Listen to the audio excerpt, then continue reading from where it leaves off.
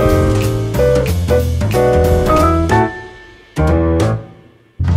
I'm Monique Pyle with Positive Vibrations Foundation. I'm the managing director. We're here at Funk Fest, and I have a very special guest, Miss Erica Falls. Welcome. Thank you for having me. How are you? I'm good. How are you? I am fantastic. You just finished an amazing, amazing set over there on the Jam Nola stage. Yeah, I did, and it was fantastic. The energy was electric. It was? Yes. been really good out here. Yes. Are you originally here from New Orleans? Yes, I am an original born and raised New Orleans girl. I was born and raised right over in the Ninth Ward, not too far from here. And so I've walked these streets for sure. That's awesome. And here you are playing in front of all these people Yes. in your hometown. Like Yes. that doesn't get better than it that. doesn't. This is the best. Right? What is it like the first song that you can remember that you were like, yeah, that's it. I want to do that.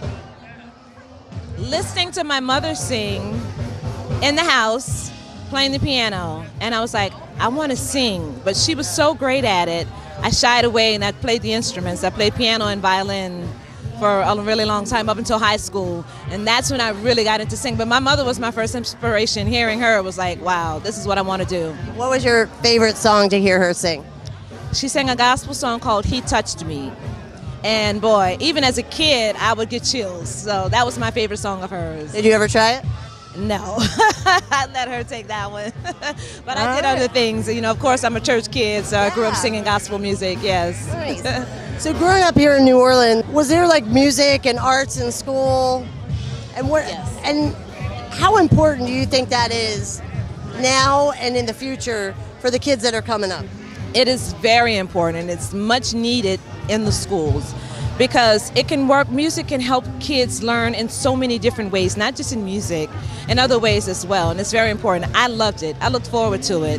I mean, coming up in high school, I had the best music teachers. So from my home to church to school, I was always surrounded by people who taught me music, and I was a sponge and I absorbed everything. And it, I still remember all of those things now that I use now. So it's something about music, it goes through life. You use those tools throughout life.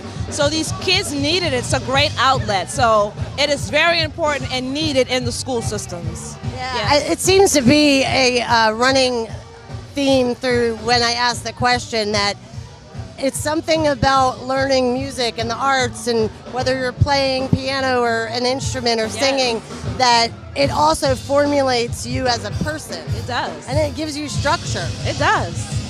and that's and that's what we have to remember remember Yeah. and that's what we have to keep fighting for to keep this in the schools One thing I always say in my shows about music, it doesn't care what you look like, it doesn't care who you love, it doesn't care who you worship, because it touches the heartstring. It moves you here emotionally. So that's what I love about music. that's true Yeah. So I'm the baby of the bunch, and I come up in the house, and I heard everything from, like I said, Mahalia Jackson, Shirley Caesar, to the Sugar Hill Gang, to Roberta Flack, to the Ohio Players, um, Chaka Khan, Anita Baker, Shalom, all of this stuff. Sarah Vaughan, my dad was a jazz head, so all of that is ingrained in me. And so when I'm writing, or when I'm singing, or when I am um, phrasing my music, I pull from all of those resources, and I still listen to all of those things today. So Yeah. yeah, it keeps me on my toes. Yeah. Yeah.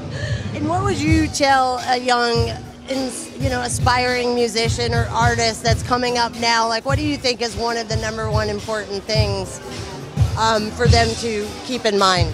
Study the greats. Be original. You never want to mimic. Beyonce has Beyonce covered. You know, uh, Madonna has Madonna covered. Janet, they, they are, they've got that avenue covered, but no one has you.